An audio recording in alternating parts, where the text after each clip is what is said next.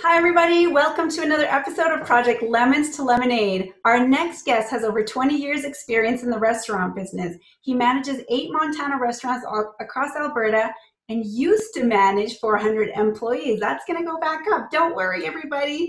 And he loves to play squash and tennis. Please welcome Mo Aladin from Montana's Restaurants. Hi, Dafne. Why are you bothering me? Why are you bothering me today? You're a people expert. because I know your profile, I know you take it sensitively why you're why you're bothering me today. So uh, that's what my angle was to talk to you about today. So that's exactly what we're talking about. You're an expert. You you use personality profiles to uh, to you've trained thousands of people over the years, and uh, yeah. and you use those profiles to to do what? Mo?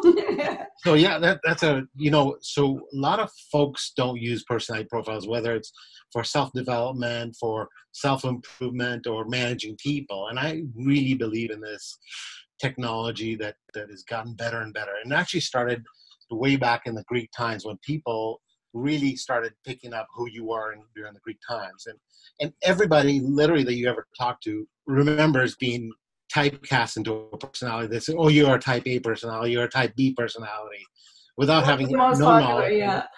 Uh, because that was like, you know, oh, you are that obnoxious Type A personality, hard driven, hard drinking, hard.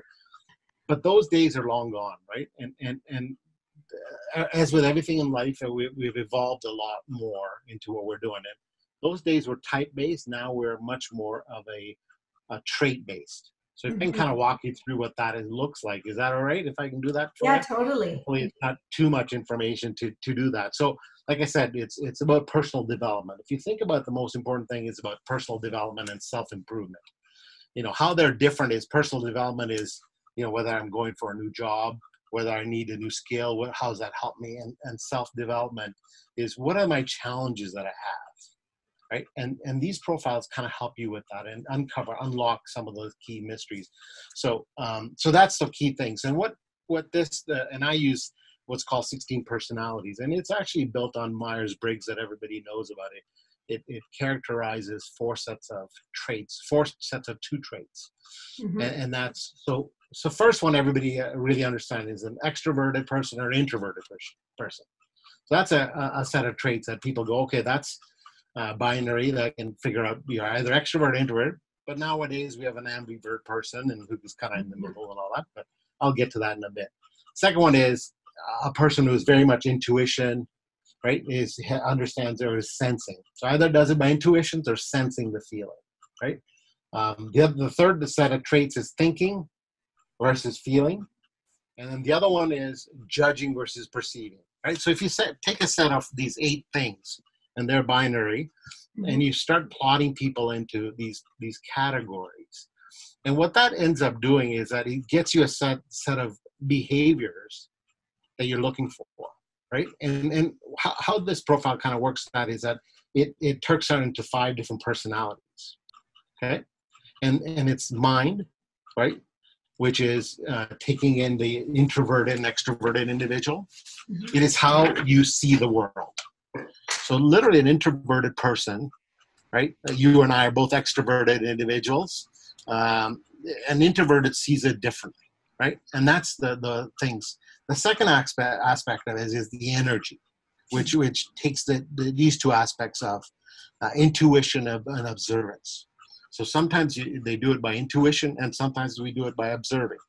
So it takes those two characters. Then it's nature, which is what what is what we talk about is thinking and feeling, mm-hmm. right? So I think about it or you feel it, right? And, and then you take tactics, which is about judging and per- perspecting.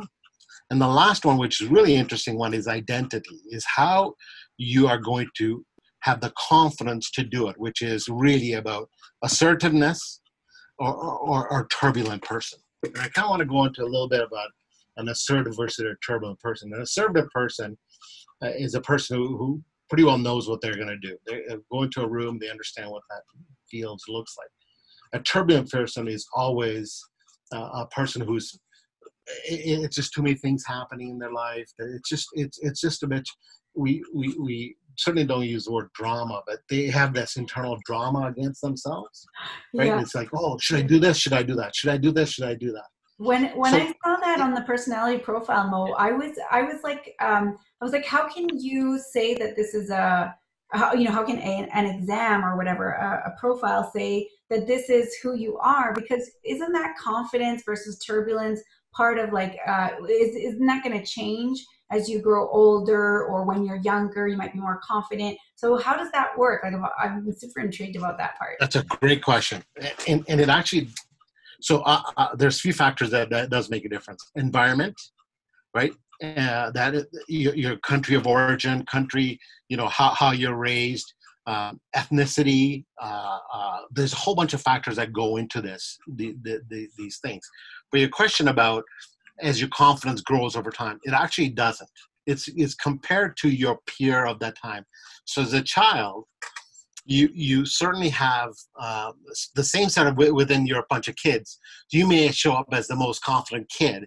It may be that you really lack confidence against an adult but within your set of group you're the one first one uh, putting your hands up and all that stuff. And that really uh, over time is is is what grows that confidence. And mm-hmm. that part of that whole behavior is that the, the change over time is what you're talking about. So you take a really confident kid and, and or, or, or very introverted kid let's not think about a confident one an introverted kid. And then over time they, they their environment changes right? And how that's nurtured it also uh, shows a reflected as an adult. So there is certainly amount of seeding to be done and watering of that individual that does change it. So when you become um, a doctor there's a certain level of confidence that you show but that's not an extrovert and introverted. So a doctor can still be an extrovert or an introvert. It doesn't mm-hmm. really make a difference. It's it's right. it's a it's a set of seating. And then as as psychologists, and I know you work with a bunch of psychologists uh, in your in your practice. family. uh, uh, um, and, uh, and and and they will tell you that there there could be some very horrific events that happen that does change your your your perspective. So you you you certainly don't discount that but you count that in, in into that uh, okay thing. So, so yeah. So what i'm hearing is it's it's more like you can take an online test but it is more complicated. As we know humans are complicated. So sometimes uh, you need a, an expert in there to correct so, so how this these tests work is really they ask you a set of questions, and they're pulling out of all those factors. So, as an example, a question would be, you know, walking into a room that you don't know anything about. What do you see yourself doing? Going to the back of the room, um, uh, waiting for everybody to to see what the lay of the land is, or are you walking in start introducing yourself, right? That kind of get and they ask a set of questions to, to really point you towards is is this an extroverted individual or an introverted so now you they set a set a question and they tweak it the other way also and and to kind of get the second then thinking about it so if you ask a person about thinking something you know what here's you given a, a problem is one of the questions and and how would you go about doing it uh, and and if you you know either you're going to say hey yeah, I, yeah i'm pretty confident I, I i'd be able to yeah, or just say, let me think about it. Let me let me see how that. So how you answer those questions will pile you into a bunch of different uh, variations of, of people, and and and and uh, so I, so that that gives you that that set of behavior, right? Mm-hmm. So you get a bunch of questions, and what it does, it piles you into four different types of. Again, we go go back to uh, four different uh, groups of people, and and they're really a confident individualism so a person who is confident, but they're much more introverted. They, they, they, it's confident, but they're individuals. So they, they, when you give them a problem, they, they, they do it themselves. They don't need any. Uh, they're not. A, they're an introvert, but they, they do it by themselves. The second set of group of people is what are people mastery. So what they are are like leaders. They they, they understand how to uh, uh, motivate people. They have a cer- certain sense of people mastery. Okay, that's a set of people. And then there's a people potentially like you, uh, having known your profile, is constant improvers, right? They want constant improvement of their life, right? Um, and and how, how how somebody can help them, how businesses can help them, how other friends that can help them, right? um, to do that. And then there's these social engagement people, right? And they all they want is where they get their energy. It's all these is about getting their energy is by meeting with people. So as we're in this COVID nineteen situation, which kind of brings back to the the people who are affected the most out of this is the social engagement folks, mm-hmm. right? Because it, you're taken away, and then that's why you see a bunch of uh, people going to beaches and all that because it, it is in their nature right. that the social engagement is working against them. So, mm-hmm. so if you did a profile for those people, you know, they, they're the ones who are going to be writing on the Twitter and saying, you know what, I don't believe in any of this stuff. Uh, you know, that I'm going to go to the beaches because their brains need that constant social engagement right mm-hmm. so that gives you that that type of so right. so this this profile that's called 16 personalities and anybody can take it online and, and gets a, a little mini results gets you to create 16 different set of people set a group of people right mm-hmm. Now one of the things that people kind of say well I will, i'll be typecast into this individual and i'll not be successful and that is the farthest from the truth every one of those 16 individual has a notion of success or failure and has a notion of being whatever they want to be. So, can you have a, of these po- po- uh, fo- folks that can be CEOs, marketing people? Yes. You can have a socially engaged individual who's a marketing uh, guru also, but they use their skill set of skills in a different way. Right. So, let, let me tell you this the four different groups, okay? Okay. So, and I use the, uh, I'm not sure, are you a fan of Sade, the, the musician? Yes, yes. So I use the acronym Sade, right? Okay, yeah. Right. So S is for sentinels. These are people like an executive who are, are, are guiding posts. A sentinel is a, is a bit of a guiding post, right? Um, the other one is the, uh, now it made, made me think about what the, the so the next group set of group of people is a, a set of analysts, A for analysts, mm-hmm. right? Um, these are very much anomalous. Uh, D for diplomats, which is what you are, right? Um, they, they play both sides. They are very much a diplomatic. They they do that uh, things. And then the, uh, last one is explorers, which are the ones we need for exploring. So mm-hmm. that kind of gives you those four main groups, and each those groups have four sets of people that fit into that.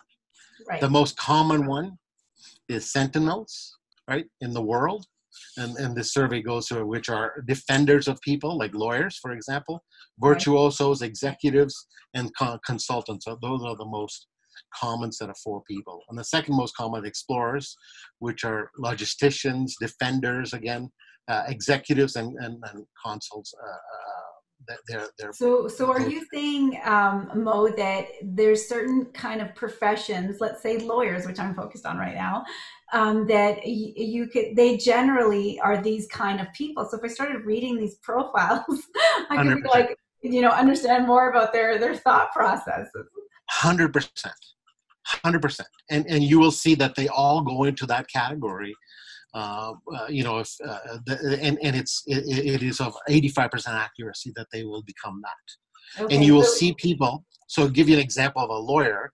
You know, and, and I use a friend of mine as an example. Lawyer went through law school. A parents forced him to go into law school. That's what all a lawyer would be. Well, he ended up being a CEO of a company, and he literally did not fit his profile. But he is a lawyer right yeah. and that kind of get, gets him into to what he really wants to be and what he wanted to be is a, is a bit of a, a renegade ceo mm-hmm. and that mm-hmm. never fit that profile of a, of a lawyer but eventually you're going to end up in in the box that you you really wanted to be at oh so, right okay, so again, okay. Right. So, so, when you're when you deal tools, um, so it's not only about learning about ourselves, but we could learn about uh, a potential customer. We could learn, obviously, like you use them for your employees. There's so many I hadn't thought of that before. I always thought it was about self development and what I can do better with myself. But I guess that's Correct. my personality type. Right. As you deal dealing with lawyers and all that, um, what what their what their trigger points helps you, mm-hmm. and if you can uh, unmask that, those things and help them in that their, their voids, then that, that you're filling that void for them, right? And right. if you antagonism because they want the, generally a, a, lawyer is going to be one that that really is you know i know my stuff really well. So if you're going to go against them that's going to work against you. Right. Where what they want is more information to make them feel a little bit more smarter right? To, to say if you can make them feel uh, or, or give them more knowledge that makes them more competitive right then you sure. really yeah. Right. Exactly. which is what their feeds their need very much Mm-hmm. so uh, to do that. And and um, um, how how um, how you can really kind of go about doing that is is also in their strengths and weaknesses right? So for example and, and i'll use lawyers again as an example. So ma- majority of them have a poor understanding of mathematics Mhm. yeah Right? i've heard that Because that's- lawyers, yeah so that that, that does it is a, it, it they is go into law because they hate math because they hate math, right? Uh, right. So, but if you show them a whole bunch of statistics and you overwhelm them with information on statistics, you're they're subject to failure, right? It's not that bite-sized information that you need that Mhm. they, they would parcel it so that they can use it. That. Does that mean there's no lawyers who are accountants? The answer is no. There's lots of lawyers Yeah, are accountants. also. yeah But it does mean is that you, you kind of have to figure out where, where that uh, thing, uh, Right. where that need is for that set of lawyers, right? Mhm. uh, and, and again when you're managing people and i know you manage folks Mhm. is how how well you bite size how you give them the feedback you know as, as my boss used to say feedback is a gift right i wasn't a very r- well receiver of gifts in feedback because i knew it all and i wanted it all and all that stuff. Um, but he said mo feedback's a gift right? So it is for self-improvement. It is just like this thing. It's Yes. self-improvement and and the other part that i just wanted to make sure like of articulate to people listening which is a million of them out there right now for you Yes. dafne um, that uh, again i know you as a campaigner you like that good pat in the back so Speaking in my personality. exactly All right, right. Um, is, um, is is the is the notion of which I really believe in is always working on your strengths rather than dealing deeper into your weaknesses right? Turning your strength into your weakness into your your weaknesses into your strengths and your strengths uh, are, are your weaknesses right? So this is how you kind of get get that uh, do that to, to be able to just say hey I'm, i'd rather be, you know be be in in dark place by going into your weaknesses Mhm. but no that's not what, what this should be for. It's to, to kind of deal especially when we keep getting out of this really, yeah, I read, I read that in the notes is like really um, like focus on your strengths and build on that and, and just be like amazing at what you're amazing at, which, uh, you know, that's what everybody should be doing. And I think that's what everybody should pick their career if their parents let them is do what you, what you love and uh, be happy. That's my motto, right? that's it that's it Thank you, Mo. Thanks for joining us today. you're welcome Love take it. care everybody Bye.